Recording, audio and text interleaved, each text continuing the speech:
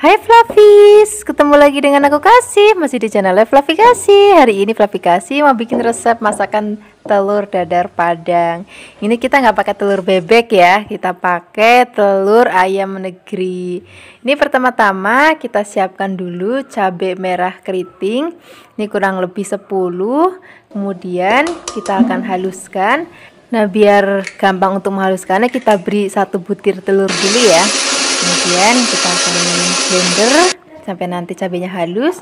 Kalau cabenya sudah halus kita akan masukkan semua telurnya ya. Setelah itu kita akan blender lagi.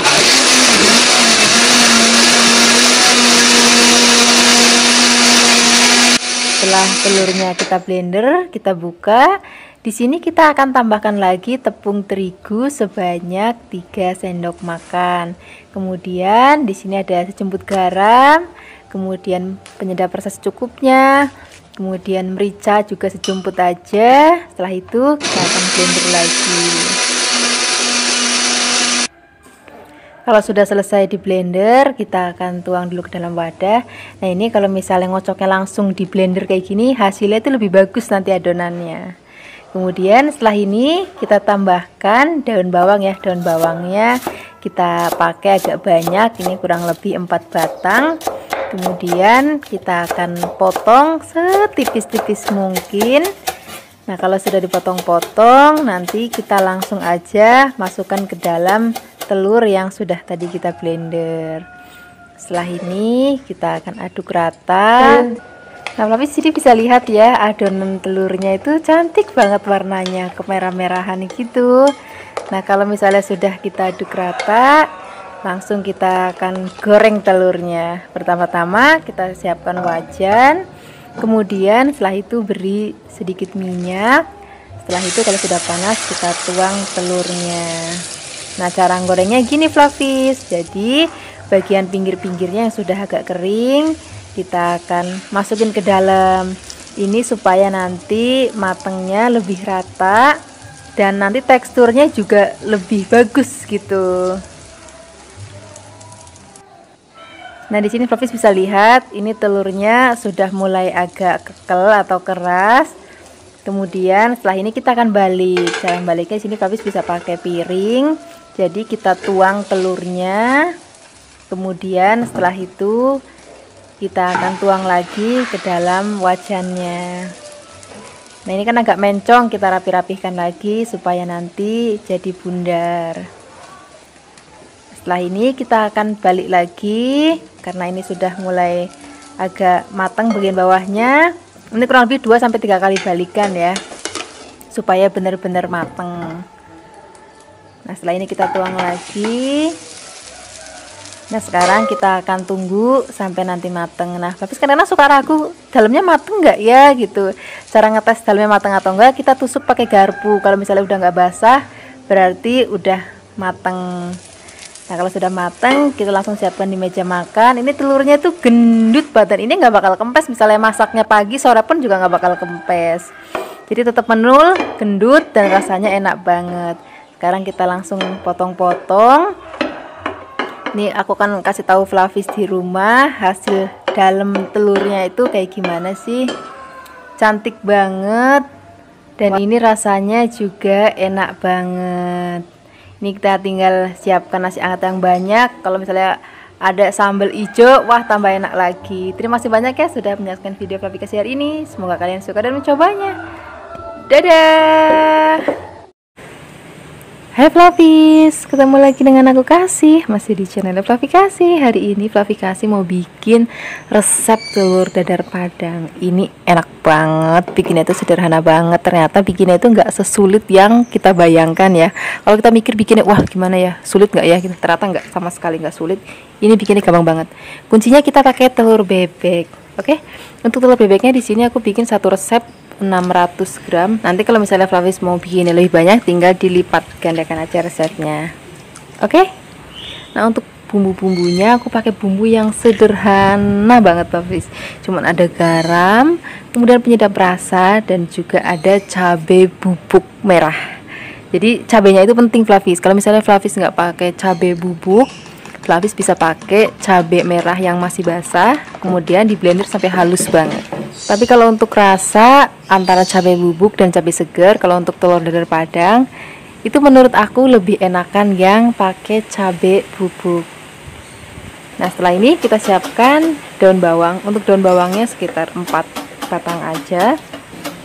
Kemudian kita potong tipis-tipis seperti ini nah, setelah itu kita akan masukkan ke dalam wadah berisi telur yang sudah tadi kita kocok. Nah setelah ini kita akan pakai bawang merah. Ini bawang merahnya kurang lebih 12 kemudian bawang merahnya kita potong tipis-tipis. Setelah itu kita akan campurkan lagi ke dalam wadah berisi telur dan daun bawang. Kemudian kita aduk rata setelah ini siap untuk kita goreng. Siapkan wajan dan minyak yang panas ya. Kemudian tuang telurnya.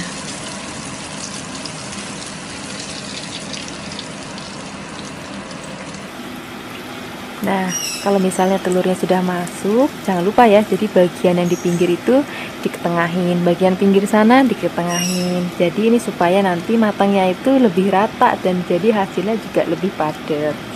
Nah nanti kalau kira-kira sudah mulai agak sedikit mengeras baru kita akan balik. Untuk baliknya supaya gampang pakai piring seperti yang aku lakukan ini. Kalau misalnya Flavis nggak mau pakai piring ya boleh pakai dua wajan untuk kontak ganti gitu. Tapi ini udah cukup pakai piring. Kemudian kita agak tekan-tekan-tekan dikit. Nah ini akan kita bolak-balik sekitar 3-4 kali Nah untuk cara ngetesnya supaya kayak dalamnya itu masih mentah nggak ya, udah matang atau belum ya? Nah ini caranya ditusuk-tusuk pakai garpu atau pakai tusuk gigi. Kalau misalnya udah nggak basah, berarti telurnya sudah matang. Dan kita siap potong-potong dan sajikan di meja makan. Pokoknya bikinnya gampang banget kan? Ini cocok banget dimakan pakai nasi yang masih kemebul, panas-panas apalagi ada sambal hijaunya boleh tambahkan lagi lalapan daun singkong. Wah ini enak banget apalagi siang-siang pada saat lapar makanannya kayak gini wah enak banget. Terima kasih banyak yang sudah menyaksikan video aplikasi hari ini. Semoga kalian suka dan mencobanya. Yang belum subscribe jangan lupa subscribe ya. Dadah. Hai Flavis, ketemu lagi dengan aku Kasih. Masih di channel Flavi Kasih Hari ini Flavi Kasih mau bikin resep telur dadar yang gendut banget. Ini aku siapkan telurnya sebanyak setengah kilogram ya Supaya telurnya nggak sendirian, aku akan campurkan dengan bahan-bahan lain Di sini ada bayam Bayamnya kurang lebih setengah genggam aja Ambil bagian daunnya aja ya Batang-batangnya nggak usah Kemudian cuci bersih, kalau sudah kita potong-potong menjadi bagian lebih kecil-kecil Selain ada bayam di sini, aku tambahkan lagi daun bawang. Untuk daun bawangnya sebanyak 4 batang aja. Ini sudah dicuci bersih banget. Tinggal kita potong, motongnya yang halus ya. Supaya nanti hasilnya itu lebih cantik. Kalau sudah dipotong, kita taruh dulu dalam wadah. Selain ada bayam dan juga daun bawang, di sini akan aku tambahkan lagi cabai rawit. Ini kalau cabai rawit berarti boleh masukkan, boleh enggak. Kadang-kadang ada yang lebih suka pedas, ada yang enggak. Ini cabai rawitnya kita cincang halus. Kemudian kita masukkan lagi ke dalam wadah berisi daun bawang dan juga bayam. Nah setelah ini tambahkan lagi garam. Untuk garamnya seperempat sendok teh aja Atau sesuai dengan selera Flavis di rumah. Tambahkan lagi juga merica seperempat sendok teh Dan penyedap rasa sesuai dengan selera Flavis Nah setelah ini baru kita akan masukkan telurnya. Oh ya tadi di sini aku pakai telurnya sebanyak setengah kilogram ya. Jadi nanti Flavis lebih gampang untuk bikin takarannya Nah ini telurnya semuanya sudah masuk sekarang saatnya kita akan aduk rata semua bahan sampai benar-benar benar tercampur rata. Nah, kira-kira seperti ini Flavis. Sekarang kita langsung aja goreng telurnya. Siapkan wajan dan juga minyak. Minyaknya nggak usah terlalu banyak ya. Kalau misalnya sudah panas, baru masukkan telurnya. Nah, cara bikin telur gendut itu seperti ini Flavis. Jadi kalau misalnya telurnya sudah masuk, kita ada sedikit aduk-aduk gitu loh, diketengahin kayak gini. Nah, ini fungsinya untuk supaya nanti telurnya itu matangnya merata dan hasilnya itu padat fluffy nah kita akan lakukan lagi sampai nanti telurnya itu dia agak kekel. Nah kekel itu maksudnya itu kalau bahasa Indonesia itu padat gitu fluffy nah sekarang kita akan balik. Kalau misalnya fluffy susah untuk membaliknya bisa pakai seperti yang saya lakukan. Jadi pakai piring kemudian kita tuang lagi. Nah untuk membaliknya itu cukup satu kali aja. Kita agak sedikit tekan-tekan sambil dilihat-lihat ya. Kira-kira bawahnya itu sudah agak kering atau belum nah kalau misalnya sudah matang fluffy nanti telurnya itu akan padat gitu. Kalau kita puk-puk tuh agak membal. Nah ini udah mateng kita langsung aja siapkan di meja makan. Ini telurnya gendut banget dan juga padat banget. Ini kalau udah kayak gini udah nggak bakalan kepes lagi walaupun sudah dingin fluffies. Sekarang kita potong-potong kita siapkan untuk lauk makan ataupun untuk cemilan juga enak terima kasih banyak ya sudah menyaksikan video fluffy hari ini. Semoga kalian suka dan mencobanya yang belum subscribe jangan lupa subscribe ya. Dadah! Hai Flavis, ketemu lagi dengan aku Kasih. Masih di channelnya Flavikasi Hari ini Flavikasi mau ngasih resep masakan olahan telur untuk Flavis di rumah. Nah masakan ini biasa disebut dengan Fuyung Hai ya. Pokoknya rasanya enak banget, bikinnya juga gampang banget. Nggak boleh ke mana-mana untuk tahu resepnya ya. Pertama-tama di sini aku siapkan wortel kira-kira panjangnya 7 cm Kemudian potong seperti korek api. Nah setelah itu di sini juga sudah uh, saya siapkan satu helai kol, kemudian uh, diiris halus seperti ini ya. Kita campurkan ke dalam wortelnya. Kemudian di sini aku siapkan udang sebanyak 50 gram. Nah di sini kita cincang kasar aja ya udangnya. Kalau sudah kita campurkan lagi ke dalam wadah. Setelah itu di sini kita siapkan daging dada ayam sebanyak 50 gram. Kemudian kita cincang kasar juga ya. Dan di sini juga kita siapkan daun bawang sebanyak satu batang aja, kemudian dipotong halus seperti ini. Setelah itu kita siapkan tepung terigu sebanyak 2 sendok makan, kemudian 1 sendok makan tepung maizena, kemudian satu sendok teh kaldu ayam bubuk, setengah sendok teh merica bubuk, dan satu siung bawang putih yang sudah kita cincang ya. Kemudian kita masukkan 3 butir telur. Setelah itu kita aduk rata. Kalau misalnya sudah aduk rata seperti ini, kita siapkan wajan untuk menggoreng.